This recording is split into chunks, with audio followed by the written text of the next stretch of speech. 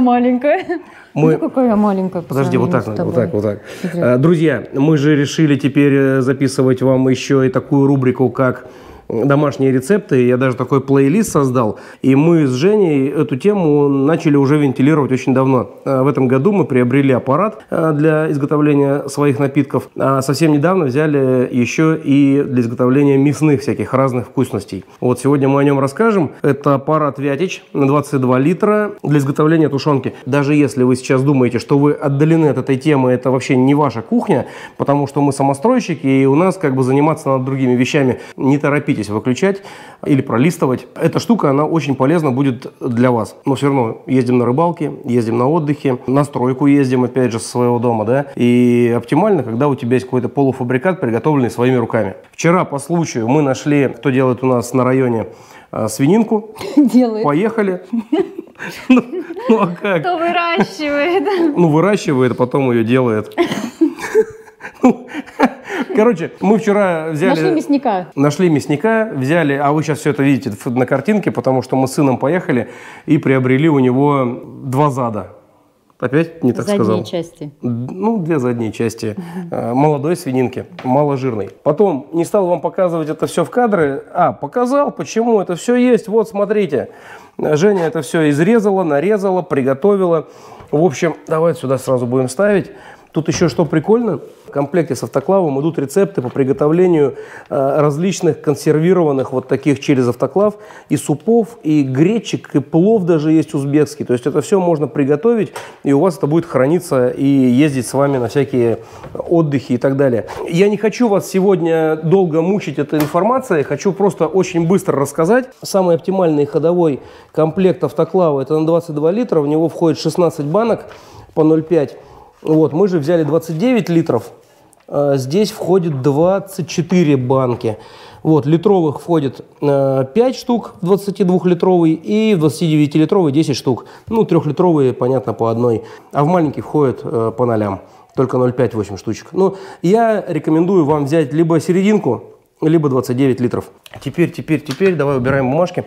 Я доехал до магазина, приобрел банки в количестве 25 штук, 24 пойдет в автоклав и одна запасная. Также мы взяли вот такой вот набор колец, но, как оказалось, эти кольца нам нужны будут только в случае, если мы будем использовать крышки, которые закатываются. Мы сейчас взяли, видите, ну мы их уже обработали, мы взяли крышки простые, закручивающиеся, поэтому их э, блокировать никак не нужно. Дальше мы крышки проварили, банки промыли. Э, В дополнение мы еще приобрели вот такое вот дно. Это фальш-дно такое, которое отрывает горячую часть от э, пола. Также в комплекте идет дно, которое закрывает тен. Вот эту зиговку, кстати, вы нальете потом воды. Взяли дополнительно еще силикон. Вот это на запас, он тоже нужен. Жень, давай готовь, наверное, эти э, горошки, душистые перчики. А, все, у тебя готово, да? Тогда не вижу никаких проблем, чтобы не начать это все раскладывать по местам. Друзья, для того, чтобы понять, как работает вся эта конструкция, вам нужно всего лишь сейчас увидеть вот то, что мы будем делать прямо вот сейчас. То есть сколько чего положить, таким образом вы уже сможете завтра повторить все увиденное. После всех процедур, досмотрите до конца, мы эту тушеночку откроем и попробуем одну баночку и вообще поймем. Ты готовишь, да, лавруха, перец, горшок, горошек. Это душистый? Да, не могу открыть. Давай. Класс. Так, кольца я пока уберу, они нам сейчас не нужны. Это я вам просто показать хотел. Вот что еще не сделал. Как же так вот начать работы на автоклавировании и брендик-то не наклеить? Да просто вот сюда сделаю и все, и будет красиво. Все, что все знали.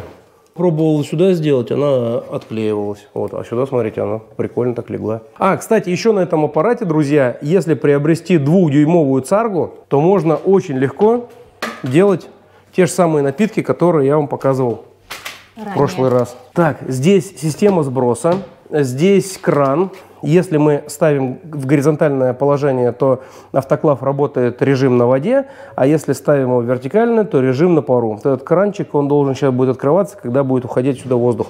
Но вы сейчас все это увидите. Внутри, чтобы вы понимали, просто находится тен. Мы автоклав уже промыли. Вот видно, что мы с ним уже занимались. Мы будем заправлять сегодня все эти баночки. Так, автоклав я пока убираю, правильно? Он нам здесь не нужен. По рецепту на одну пол-литровую баночку приблизительно 5 грамм соли. 5 грамм это, наверное, чайная ложка. Да, Правильно? да, да. И я предлагаю, там говорят, в баночки сыпать, чтобы вот, ну, как бы соль распределилась лучше. Я по 12 ложечек сюда. У нас приблизительно одинаково разделено. Давай, давай, пробуем. Давай, мы экспериментируем. Ребята, сегодня у нас это все в рамках такого ну, пробника, что ли. Попробуем, поймем. 24 банки, в каждую ложка. Это Женя уже все сказала, да? А я, наверное, повторяю. Ну, надо же, блогер. Вот, да, по 12. Это сахар или соль? Очень похоже. Не надо. Все, смотрел обзоры, и там люди, именно вот на этом затыке у них был вопрос, потому что положить по ложке на мясо, она может там не рассредоточиться, наверное, да, и лучше всего так перемешать все это вместе. Ну, я так думаю. Ну вот из опыта а, даже приготовленная тушенка, она должна постоять. Угу. То есть э, после варки сразу горячая, она все равно не такой насыщенный вкус имеет. Ну, это знающие люди рассказывают. Ну все, так и будем делать, значит. Еще кто-то пробовал, ну, люди пробовали, использовать а, не просто вот э, соль, горошек и лавруха, а еще специи.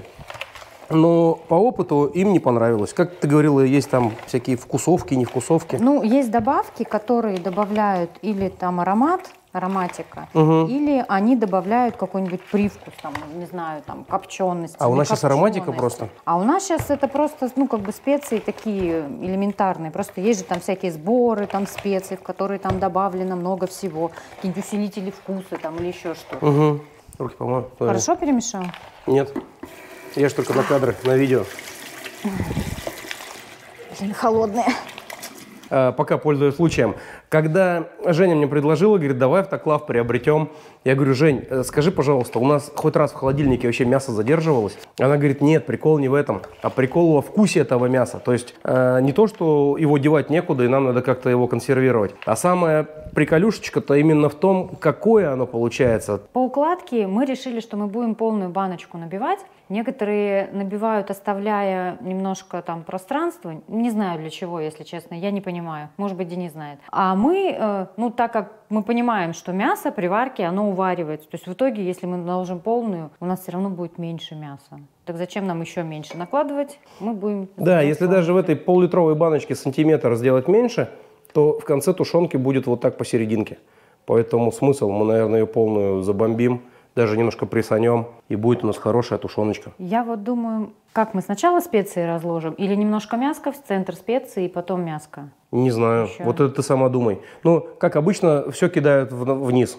Ну все. То есть раскладывают сначала по всем банкам специи. Да, еще знаешь, обычно делают как? Два таких, два таких горошка и по одной лаврухе. Это душистый? Это черный перец горошек. По два? По два. Ну, два-три где-то как упадет. Я думаю, что здесь принципиально на вкус э, не скажется. Точно? Это же так, для аромата. Для Женя, это называется нарушение рецептуры вообще-то. Ну, вообще-то мы творим. Что мы творим, Жень? Ну, я имею в виду, что готовка же это вообще такой творческий процесс. Поэтому, Да, если бы у нас хотя бы опыт был. да, поэтому мы будем пробовать. Так, а здесь уже положил? Нет. Неважно. Нет, ты смотри, а то, правда, лишнего бахнем будет потом. Одна вкусная, вторая невкусная. Ну, мы Друзья, не слушайте нас, делайте все по рецептуре. Все, где-то два, где-то три. Ну, мы так, а вот вообще- этих по одному. Это по одному точно, потому что они очень насыщенный вкус имеют. Душистые. Это перчик. душистый, да? Да. Все. Можно Слушай, две а- секунды, я помою руки? А то, что они все разные. Ну и что? Вот здесь уже есть. Вот давай сюда. Вот, вот все, вот это, вот, вот то бомби. А, два упало. Точно по одному душистому хватит? Хватит по одному, что так, везде, да? А, душистый. Он прям очень-очень такой. В нем прям душистый. душа, я прям чувствую, на. Все, начинаем паковать мясо, но это уже такая больше мужская процедура, поэтому я буду тебе помогать. Что-то. Насколько по половине пока? Ну да, я вот так вот везде, там, допустим, по несколько. Не, лучше, нет, нам, нам- подожди, нам надо забить-то все равно все. понимаю, Мы лучше понимаю. давай не 24, если мяса не хватит, то не 24 банки сделаем, а Ну все, тогда ну. подожди. сколько есть. Ну ладно. Тогда ты это... Мне кажется, пихаем до конца. Еще про жир очень многие говорят, что дополнительно жир туда положить, но мы смотрим, что в мясе жира достаточно. Нет, это если бы было очень постная свинина или, допустим, говядина, туда добавляют еще отдельно как бы жир. Мгм. Ну, чтобы она не сухая была. Мы немножко не подрасчитали, и у нас осталось 5 баночек. Не вошло, вон они, и кот. Кот, хочешь в автоклав? Кот ждет тушенку. У нас получится, наверное, всего лишь два ряда и одна баночка на третий ряд. Теперь это все очень хорошо, На, я тебе буду накладывать. да, теперь за- затягивай очень, очень хорошо затягиваем. и отставляем. Как называются эти крышки, парни? Напишите, пожалуйста. У них какое-то название интересное. Хлипен хлоп, что-то такое. Чпокин чпик. Я не помню точно, но какое-то интересное название. Руки не такие, чтобы прям скользкие. Немножечко просто проскальзывают, но я ж помыл. Нифига себе, он с тушенки.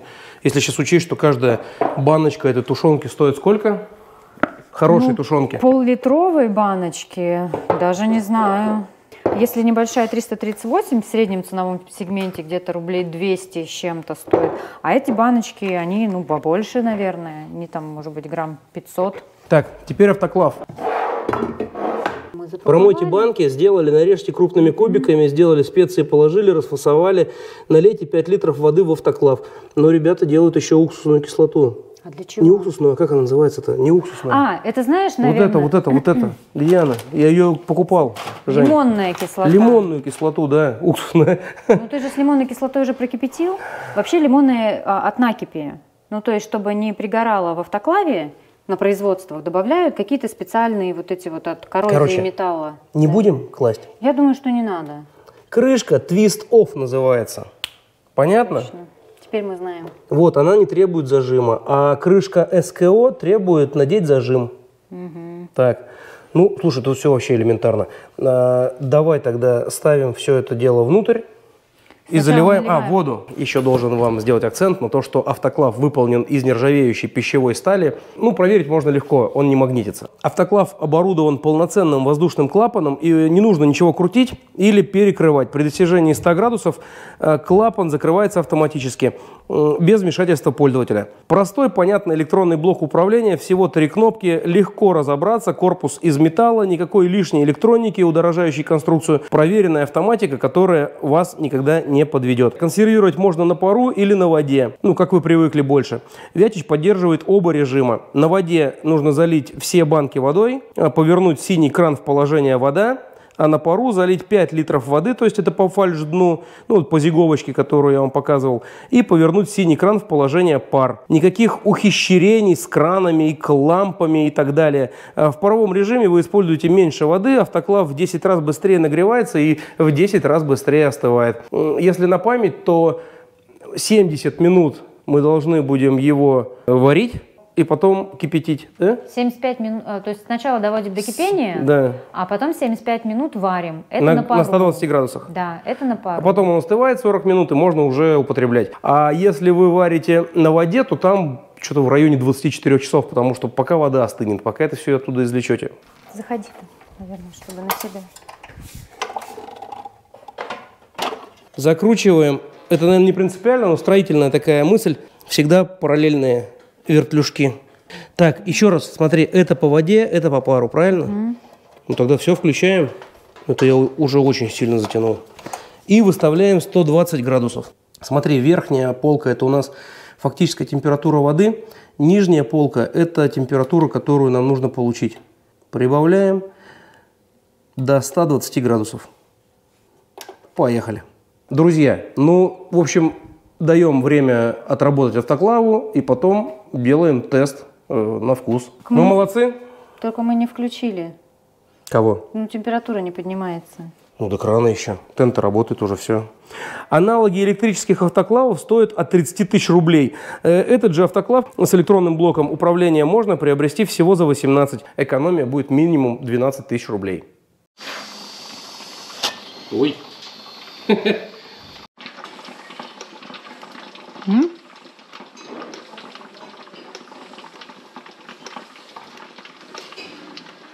Давление больше 1,2 не поднималось. Даже 1, 1,1, наверное, да? Он щелкает 120, 119, 120, 119. Все, ждем еще 29 минут и вперед. Не знаю, сегодня вам покажу это все или завтра утром. Ну, там еще, видите, остыть надо, а уже время 10. Ну, типа все закончилось. Ну, значит, все выключаем. Да. А выключать написано было два варианта. Первый вариант это уменьшите температуру на минимум. Либо второй вариант просто выдергиваем из розетки. Итак, раннее утро. Мы вчера не стали, в общем, это все разбирать, оставили до утра остывать.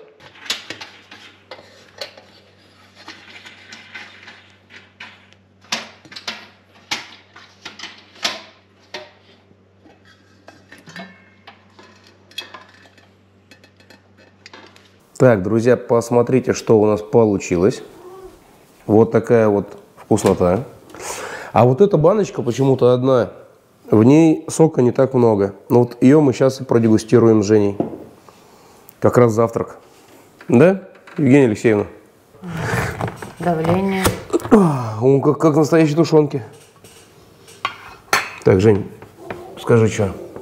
Что, мяско? Вкусно. Мяско, давай. Мы же на пробу.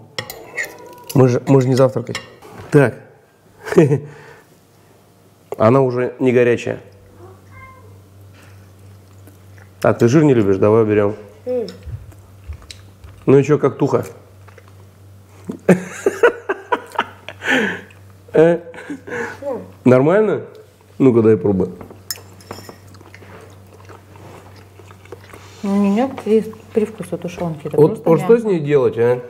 Вот, а, например, как ее можно использовать в семье? Только если я куда-то еду на рыбалку, на охоту? Или...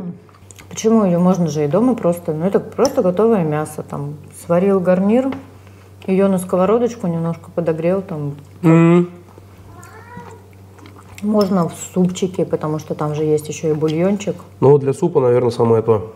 И просто так. И оно такое разваленное получилось. Еще бы. Кот тоже просит. Угу. Ну, все круто. Все круто. Вот это я с котом поделюсь. Это для скота. Мы сейчас все по работам разбегаемся, по учебам. Э, Для меня такой первый опыт сниматься в 6 утра. Не, ну мясо получилось вообще вкуснейшее, конечно. Еще рыбу попробуем также приготовить. Потому что говорят, что при приготовке рыбы, видишь, кот просится. Э, Даже кости становятся мягкими, вкусными, красивыми, интересными, приятными. Все, рад был вас видеть. Небольшой такой обзор. Кому помог, тому помог. Кому не помог, извиняйте. Ставьте лайки. До следующего видоса. Через недельку увидимся. Все, пока. Пока.